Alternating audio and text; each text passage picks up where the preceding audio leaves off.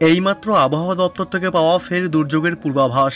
বঙ্গোপসাগরে নিম্নচাপের জেরে দফায় দফায় বৃষ্টিতে ভিজেছে শহর থেকে জেলা। নিম্নচাপের জেরে লাগাতার বৃষ্টি হচ্ছে কলকাতা সহ দক্ষিণবঙ্গের সব জেলাতেই। তবে বৃষ্টি একটু কমতেই ফের বজ্র বিদ্যুৎ সহ ভারী থেকে অতি ভারী বৃষ্টির পূর্বাভাস দিল আবহাওয়া দপ্তর। তবে নিম্নচাপের জেরে আরও কতদিন চলবে বৃষ্টি? আগামী কয়েক দিন কোন কোন জেলাগুলিতে ফের লাগাতার ভারী বৃষ্টির সতর্কতা জারি করেছে আবহাওয়া দপ্তর। কোন কোন জেলাগুলিতে হালকা মাঝারি বৃষ্টি হবে? এ বিষয়ে কি জানালো আবহাওয়া দপ্তর? বিস্তারিত জানতে হলে ভিডিওটি অবশ্যই শেষ পর্যন্ত দেখবেন। আর ভিডিওটিতে একটি লাইক করবেন। চ্যানেলটি সাবস্ক্রাইব করে পাশে আসা বেল বাটনটিও বাজিয়ে দেবেন। পরবর্তী লেটেস্ট খবরগুলি সবার আগে দেখার জন্য। সুস্পষ্ট নিম্নচাপ এই মুহূর্তে মধ্যপ্রদেশের ওপরে অবস্থান করছে। এই নিম্নচাপ অক্ষরেখাটি মধ্যপ্রদেশ হয়ে উত্তর বাংলাদেশ পর্যন্ত অবস্থান করছে। এর ফলে দক্ষিণবঙ্গের সমস্ত জেলাতেই বৃষ্টিপাতের সম্ভাবনা তৈরি হয়েছে।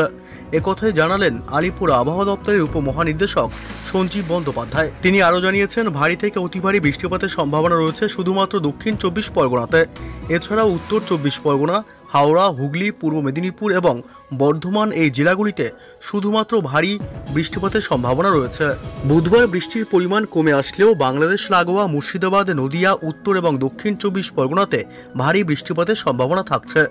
পূর্ব মেদিনীপুর এবং দক্ষিণ চব্বিশ পরগনার উপকূলবর্তী এলাকাগুলিতে পঁয়ত্রিশ থেকে পঁয়তাল্লিশ কিলোমিটার বেগে ঝোড়ো হাওয়া বয়ে যাওয়ার সম্ভাবনা। পাশাপাশি আবহাওয়া দপ্তর জানিয়েছে, উত্তরবঙ্গের ক্ষেত্রে মালদহ এবং দুই দিনাজপুরে আগামী চব্বিশ ঘন্টায় ভারী বৃষ্টিপাতের সম্ভাবনা থাকছে। এছাড়াও জলপাইগুড়ি এবং দার্জিলিংয়ে ভারী বৃষ্টিপাতের সম্ভাবনা। বাকি জেলাগুলিতে হালকা থেকে মাঝারি বৃষ্টিপাতের সম্ভাবনা।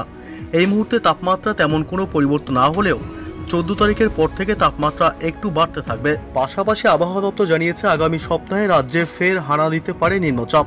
গত সপ্তাহে বঙ্গোপসাগরে তৈরি নিম্নচাপটি বর্তমানে উত্তরপ্রদেশের ওপরে অবস্থান করছে। কিন্তু সাগর থেকে নিম্নচাপে জলীয় বাষ্প পৌঁছচ্ছে পশ্চিমবঙ্গের ওপর দিয়ে। এর ফলে নিম্নচাপ সরলেও জারি রয়েছে বৃষ্টি। তবে বুধবার থেকে আবহাওয়ার উন্নতি হবে বলেই পূর্বাভাস।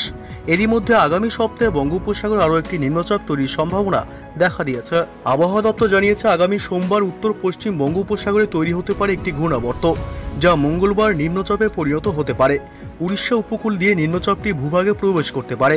তবে সেই নিম্নচাপটি কতটা শক্তিশালী হবে, তা নির্ভর করছে বর্তমান নিম্নচাপের গতিবিধির ওপরে। আবহাওয়া দপ্তর জানিয়েছে, বর্তমান নিম্নচাপটি দ্রুত শক্তি হারালেও পরের নিম্নচাপটি বেশ শক্তিশালী হতে পারে।